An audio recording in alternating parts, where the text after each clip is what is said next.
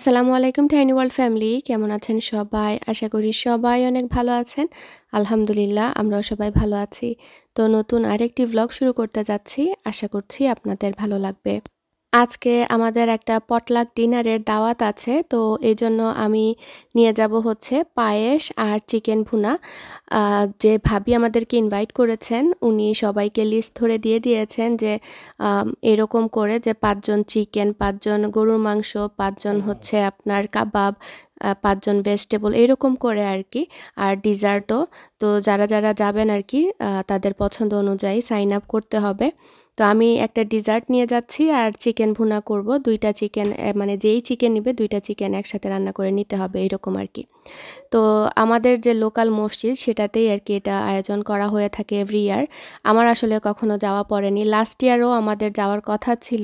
কিন্তু একটা অসুবিধার কারণে যেতে পারিনি। তো এই বছর ভাবলাম চলে যাই, ভালো লাগবে, সবার সাথে দেখা হয়ে যাবে আর একটা নতুন একটা এক্সপিরিয়েন্সও হবে।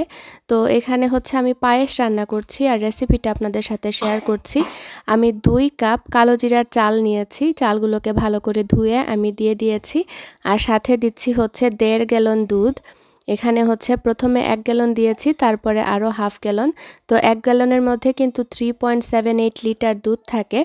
তো দেখিয়ে দিলাম। আর বড় একটা পাতিলের মধ্যে নিচ্ছি। যেহেতু আমি বড় অ্যামাউন্ট করছি একসাথে, কিন্তু আপনারা চাইলে অল্প দিয়ে যদি করেন, সেই ক্ষেত্রে আপনারা অ্যামাউন্টটা এরকম অ্যাডজাস্ট করে নিলেই চলবে। মনে করেন এক কাপের জন্য আপনার এক গ্যালন থেকে এক লিটার কম এইরকম দিলেই চলবে। তো এখানে আমি দিয়ে দিচ্ছি হচ্ছে এলাচি। এলাচি বেশ কয়েকটা দিয়েছি, পনেরো থেকে বিশটার মতো। যেহেতু এটা জাল হবে আর দুধটাও একটু কমে আসবে, সেই সময়টাতে আপনার হচ্ছে যে এলাচিটারও সুন্দর একটা ফ্লেভার বের হবে। চুলার আঁচটা আমি মিডিয়ামে রেখে চলে এসেছি এখানে বাসনপত্র ওয়াশ করতে। আর অনবরত কিন্তু নাড়তে হবে। আমি একদিকে ওয়াশ করছিলাম, আবার একটু পরপর নাড়া দিচ্ছিলাম নয়তো বা দেখা যাবে যে পুড়ে যাবে। আমার এখনও পুরার ভয় নেই, কারণ হচ্ছে যেহেতু ঠান্ডা দুধ ফ্রিজ থেকে বের করেই দিয়ে দিয়েছি, তাই এখনও মানে নিচের দিকে ধরতে একটু সময় আছে। আর আসলে এক জিনিসের প্রতি আপনি বসে থাকলে দেখা যাবে ঘরের কোনো কাজকর্ম করতে পারবেন না। যেটা আমি সবসময় বলি, একটা কাজের পাশাপাশি দেখা যায় যে আমি আর অন্যান্য অনেক কাজ করে থাকি। মাল্টিটাস্কিং যেটাকে বলে আর আমার একটা অসুখ আছে। বলতে পারেন আমি এটা ফেসবুকে প্রায় সময় দেখি, এত হাসি লাগে যারা কিনা আমার মতো আর কি এইডিডি এইচডিও বলে অনেক সময় যে এক জায়গায় মন বসে না, একটা কাজ শুরু করলে দেখা যায় চরকির মতো এক পাশ থেকে অন্য পাশে গিয়ে কাজ করে। পরে একটা সময় দেখা যায় যে আমি কোন কাজটা করছিলাম সেটা মনেই থাকে না। মানে হাফ ডান করে দেখা যায় অন্য আরেকটা কাজে চলে গিয়েছি। সেই কাজটা হাফ ডান করে দেখা যায় অন্য আরেকটাতে চলে এসেছি। এরকম করে করে দেখা যায় যে শেষের দিকে এসে আমি কোনটাতে ছিলাম সেটা মনেই থাকে না। কিন্তু আমি এরকম করি না। আমি যেটা করি আবার শেষ করে তারপরে অন্যটাতে যাই এরকম বাট আমি টাচ করি। যেমন এখন বোর্ড রাখতে যাব হয়তো বা বোর্ডের এখানে অন্য কিছু পেলে দেখা যাবে সেটা আমি ক্লিন করতে যাব। ওই রকম আর কি তো দেখা যায় যে আলটিমেটলি সব কিছু একদম পরিষ্কার হয়ে যায়। বাসনপত্র ওয়াশ করে সিঙ্কটাও মেজে নিয়েছি। আর এখানে হচ্ছে হ্যান্ড সোপ তারপরে যে ব্রাশগুলো ছিল সেগুলোতেও ময়লা লেগে গিয়েছে। দেখা যায় যে সোপ মানে যখন আমরা হাত দিয়ে ওয়াশ করি, তখন নিচের দিকে কেমন একটা মানে আলাদা একটা আস্তরের মতো পড়ে যায়। সেটা ওয়াশ না করলে দুই দিন পর পর কীরকম যেন দেখতে লাগে। আর এদিকে হচ্ছে আমাদের সার দিতে এসেছে ঘাসের উপরে। সামার তো চলেই এসেছে, তো আমাদের তো ইয়ারলি ওদের সাথে কন্ট্যাক্ট করা। তো এই জন্য একদম স্প্রিংয়ের শুরুর দিকে এরকম একবার দিয়ে যায়, মাঝখানে আবার দিবে, এরকম আর কি। নয়তোবা দেখা যায় আপনার ঘাসগুলো সুন্দর থাকে না। কারণ সবার লনেই কিন্তু ঘাস থাকে, কিন্তু মেনটেন করাটা সবাই হয়তো বা জানেন না এই জন্য বলে দিচ্ছি, যদি আপনার ঘাস সুন্দর একদম এরকম ফ্রেশ সতেজ রাখতে চান, সেক্ষেত্রে আপনার ঘাসের প্রতি একটু সচেতন হতে হবে। এগুলো হচ্ছে আদিয়ানা বাবার কাজ। মানে উনি এই ব্যাপারে খুবই মানে কি বলব কি বলে? শৌখিন আর কি। আমাদের নেইবাররা সবাই বলে, তোমাদের লন মাসাল্লাহ এত সুন্দর রাখো সবসময় বা আমাদের ফ্রন্ট ইয়ার্ড ব্যাক ইয়ার্ড তো দেখা যায় যে এরকম সার দিতে হয় উইড ক্লিন করতে হয়, ভালো করে টাইম মতো ঘাস কাটতে হয় ঘাসে মাস্ট পানি দিতে হয়। তো সব কিছু মিলেই আপনার ঘাসগুলো সুন্দর থাকে আর কি। তো এদিকে হচ্ছে আমার পায়েসটা এখন জমে এসেছে, আমি ভালো করে অনবরত নেড়েছি আর একটা একটা করে সব এলাচি তুলে ফেলে দিচ্ছি। কারণ পায়েসে যখন এলাচি মুখে পড়ে, তখন তার থেকে বিরক্তিকর জিনিস আর কিছুই হতে পারে না। তো জয়টা এলাচি দিবেন, সবসময় মাথায় রাখবেন মানে গুনে দিয়ে দিবেন, এতে করে আপনার ফেলতে সুবিধা হবে। আর আমি কিন্তু কয়েক দফায় জাল করেছি বলতে কি, যখনই উপরে একটু স্বরের পরত পড়েছে তখনই একটু স্পেচুলাটাকে রেস্টে রেখেছি, তারপরে আবার হচ্ছে আপনার নেড়ে দিয়েছি। এরকম করে করে দুধের শরটা আর কি পায়েসের মধ্যে দিয়ে দিয়েছি। এতে করে যখন মুখে পড়বে খেতে ভালো লাগবে। তো বেশ কয়েকটা কিসমিসও দিয়ে দিলাম, প্রায় মুঠো ভরে। তারপরে হচ্ছে আপনার ডাল ঘুটনি দিয়ে একটু ঘুটে নিয়েছি। আর এখানে টেবিল ক্রিম যেটা পাওয়া যায় আমি এখানে নেসলে কোম্পানির নিয়েছি বাট আপনারা যে কোনো কোম্পানির যে ডাবল ক্রিমটা পাওয়া যায় বা টেবিল ক্রিম পাওয়া যায় সেটা দিলেই হবে। তারপরে এখন ভালো করে ডাল ঘুটনি দিয়ে ঘুটে দিয়েছি যাতে চালটা আধা ভাঙা হয়ে যায়। আর এখন দিয়ে দিচ্ছি নারিকেল কুড়ানো এটা হচ্ছে যে সুইট অ্যান্ড কোকোনাট ফ্লেক্স থাকে সেটা দিয়েছি। তবে আপনারা চাইলে ফ্রেশ নারিকেল কুড়িয়ে দিতে পারেন, এতে করে স্বাদটা আরও মজার হয়ে যাবে। তারপরে দিয়ে দিচ্ছি কনডেন্স মিল্ক আমি পুরো ক্যানটাই দিয়ে দিব এখানে, যেহেতু অনেক দুধ। আর চালও বেড়ে গিয়েছে। আর আপনারা চাইলে কনডেন্স মিল্কটা আরও বাড়িয়ে দিতে পারেন। আমার অবশ্য এনাফ হয়নি, পরে চিনি একটু অ্যাড করতে হয়েছে, কারণ একটা ক্যানে এতটা মিষ্টি আসেনি। যদিও বা আমি একটু মিষ্টি কম দেই, আমার যে কোনো ডিজার্টে এত বেশি সুইট ভালো লাগে না। তারপরে দিয়ে দিয়েছি পাউডার দুধ। প্রায় এক কাপের মতো দিয়ে ভালো করে নাড়াচাড়া করেছি আর অফ ক্যামেরায় আমি এক চায়ের চামচ করে গোলাপ জল আর কেওড়ার জলও দিয়েছি। এতে করে সুন্দর একটা ফ্লেভার এসেছে। তো ব্যাস রেডি হয়ে গেল। মজাদার শাহি বলতে পারেন পায়েস। আর একটু পাতলা পাতলা এখন দেখা যাচ্ছে, পরে দেখা যাবে ঠান্ডা হয়ে গেলে জমে আসবে। তো আমি বরফ অয়েলের ট্রেতে রেখে দিয়েছি যাতে ঠান্ডা হয়ে যায়। আর তারপরে রেগুলার ফ্রিজে রেখে দিব। পায়েস কিন্তু ঠান্ডা ঠান্ডা খেতে আমার কাছে বেশি ভালো লাগে। আর আজকে কিন্তু গরমও পড়েছে এই জন্য তো এদিকে হচ্ছে আমি চিকেন ভুনাটাও করছি। ভাবলাম ঝটপট শেয়ার করে ফেলি। কারণ এই ধরনের সিম্পল রান্না প্রায় সময় রিকোয়েস্ট পাই যে, আপু, তুমি কেন স্কিপ করো? আমরা দেখতে চাই। আমরা অনেক সাধারণ রাঁধুনি আছি যারা কিনা নতুন নতুন রান্না মানে করছি। প্লিজ রান্নাটা শেয়ার করো। তো আপনারা যারা ইন্টারেস্টেড দেখতে পারেন নয়তো বা স্কিপ করতে পারেন। তো প্রথমে আমি তেল দিয়ে দিয়েছি দুইটা চিকেনের জন্য। প্রায় দুই থেকে আড়াই কাপের মতো তেল দিয়েছি। কারণ হচ্ছে সব মশলা, তেল মিলে যদি বেশি মানে না হয়, তখন খেতে ভালো লাগবে না। আর যেহেতু একটা জায়গায় নিয়ে যাব সেজন্য তারপরে দিয়ে দিয়েছি আস্ত সব গরম মশলা, দারুচিনি, এলাচি, লং, তারপরে আস্ত জিরা আমি দুই ধরনের জিরা দিয়েছি রেগুলার জিরা, শাহি জিরা। তারপরে দিয়েছি কাটা পেঁয়াজ কাটা পেঁয়াজ এখানে প্রায় এক কেজির মতো আছে। তারপরে দিয়েছি রসুন বাটা, দুইটা চিকেনের জন্য রসুন বাটা চার টেবিল চামচ দিয়েছি। আদা বাটাও আমি চার টেবিল চামচ দিয়েছি। দিয়ে ভালো করে যখন সফট হয়ে এসেছে আর একটু কষে গিয়েছে, সেই পর্যায়ে ক্যানের একটা টমেটো সস দিয়ে দিয়েছি। এটা হচ্ছে লবণ ছাড়া একটা টমেটো সস। এগুলো ক্যানের মধ্যে পাওয়া যায়। রান্না করার জন্য বিশেষ করে ব্যবহার করা হয়। এগুলো কিন্তু টমেটো ক্যাচাপ না। জাস্ট টমেটো পিউরে বা সস আর কি লিখা থাকে ক্যানের মধ্যে। আপনারা যে কোনো গ্রোসারি শপে পেয়ে যাবেন। তারপরে এখানে হচ্ছে আমি মশলার মধ্যে আজকে দিচ্ছি রাঁধুনির যে চিকেন ভুনা মশলা যেটা, সেটা। এই মশলাটা কিন্তু অনেক মজার। তবে একটু ঝাল, সেক্ষেত্রে আপনারা একটু কেয়ারফুলি দিবেন। কারণ যারা কিনা বেশি ঝাল খেতে পারেন না, সেক্ষেত্রে অল্প করে দিবেন আর অন্যান্য মশলা অ্যাড করে দিবেন। তো আমি পুরো প্যাকেটের অর্ধেকটা দিয়েছি, সাথে আরও রেগুলার মশলা দিচ্ছি। তো রেগুলার মশলার মধ্যে ধনিয়ার গুঁড়া, জিরার গুঁড়া, হলুদের গুঁড়া আর মরিচের গুঁড়া আরও একটু দিচ্ছি। আমি আবার ভয়ে ছিলাম যে প্রথমে দিব কি দিব না, পরে আর দেইনি অবশ্য। কারণ হচ্ছে যে হয়তোবা অনেকে এত বেশি ঝাল নাও খেতে পারেন। তো আমি পেপরিকা পাউডার দিয়ে দিয়েছি, যেটা কিনা কালার আনবে, সুন্দর একটা। তো ভালো করে এখন নাড়াচাড়া করে মশলাটা কষানোর পালা।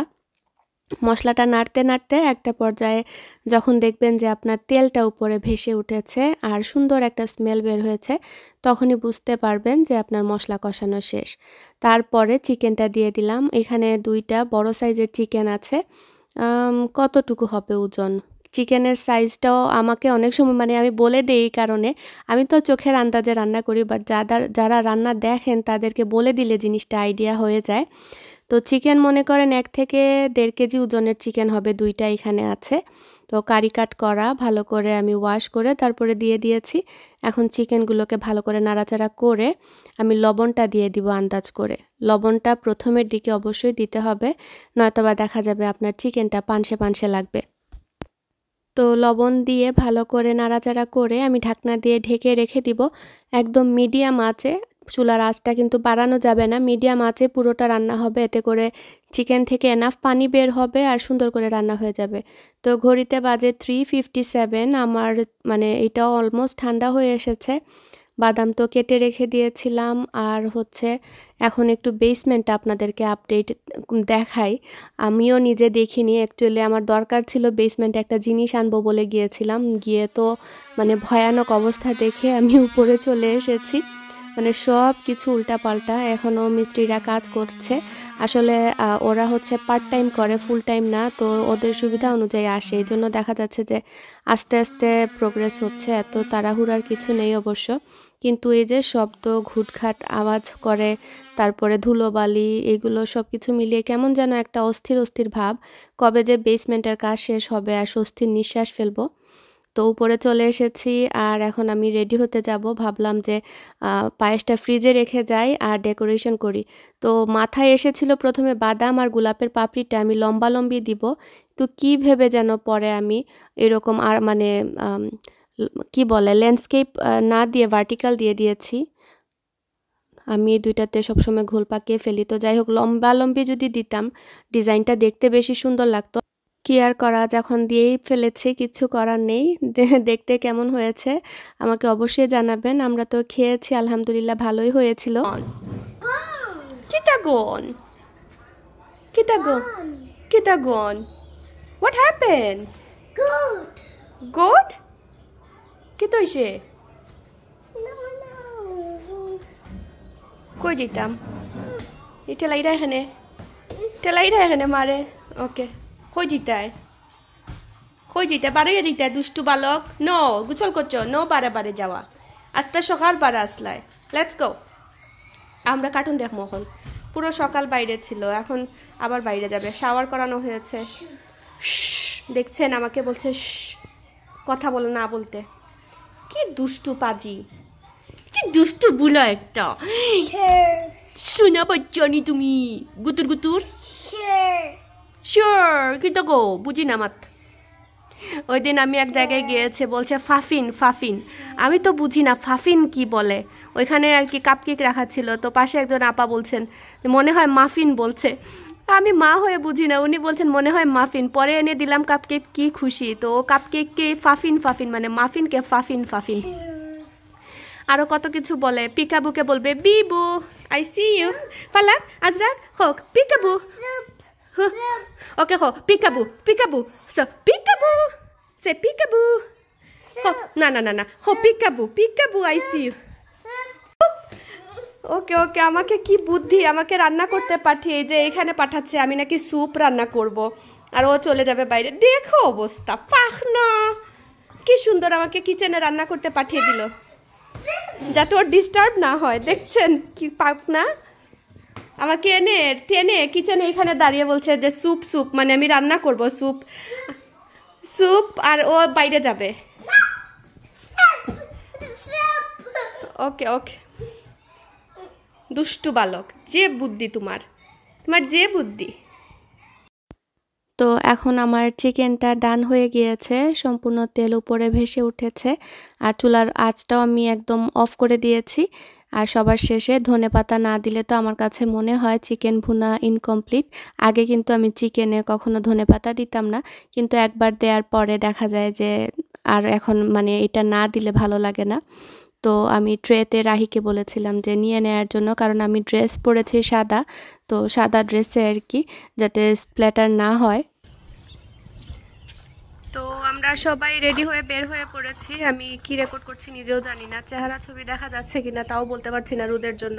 তো বাচ্চারা গাড়িতে উঠছে আর খাবার এখন গাড়িতে তোলা হবে। আদিয়ানে বাবার জন্য ওয়েট করছি। আপনাদেরকে আমার গার্ডেনটা দেখ এসে আমি রোদের জন্য এই যে আমাদের বাইরের গার্ডেনের অবস্থা। একজন আপু কালকে কমেন্ট করেছেন যে, আপু, এগুলো মানে প্রত্যেক বছর আসে কিনা? হ্যাঁ এগুলো পেরিনিয়াল প্রত্যেক বছরই আসে। এই জন্য দেখা যায় আমাদের স্প্রিংয়ের শুরুতে একটু লেইজি হয়েও যদি থাকি, তাহলে চিন্তা করতে হয় না আমাদের ফ্রন্ট ইয়ার্ড নিয়ে। সুন্দর লাগে মাসাল্লাহ আর পরে দেখা যায় এক এক টাইমে এক একটা আসে। আর এই পিসগুলো লাগানোতে আরও বেশি সুন্দর লাগছে এই বছর। আল্লাহ আমার এটা বাতাসে মনে হয় এই পাশ থেকে পাশে নিয়ে এসেছে। তো এখনও ঈদ মুবারক সাইনটা লাগানো আছে। চিন্তা করছি কুরবানিদ পর্যন্ত রেখে দিব। আর এই যে ফ্লাওয়ার বেড এত সুন্দর। এই যে খুবই সুন্দর। এই নাইস খাই তুই যেছে তো। আর কোনো উপায় দিদি না কিলা খাই তুই Let's go. Come get in. Pastor, get in. ঠান্ডা ঠান্ডা বাতাস আদিয়া না নানি লগে পিকচার তুলো ভাইয়া আমি বাদ দিয়েছি হাওয়াই বামারি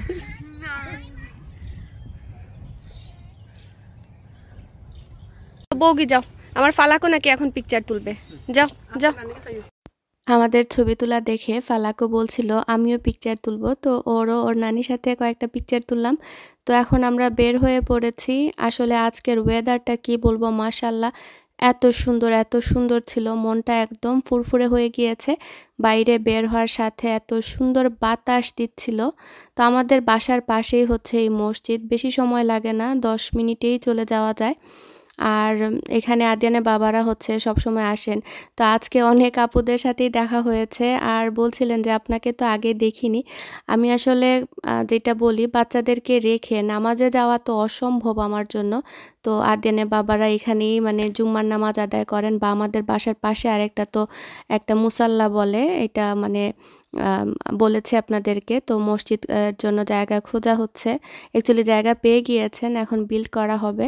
তো সেখানেও আদেনা বাবা সামটাইম নামাজ পড়েন, তো বাট বেশিরভাগ সময় এই মসজিদেই ওনাদের আসা হয়। তবে আমি তো আর আসি না, ঈদের নামাজেও আমার কখনো আসা হয়নি। প্রত্যেক বছরই বলি যে, এই বছর আমি ঈদের নামাজ এখানে এসে পড়ব। কিন্তু এই যে রাত্রেবেলা সব কিছু করে গুছিয়ে ঘুমানোর পরে সকালে বাচ্চাদেরকে ঘুম থেকে তুলে রেডি করা নিজে রেডি হয়ে একদম টাইম মতো মসজিদে যাওয়ার এনার্জিটুকু আসলে আমি করে উঠতে পারি না।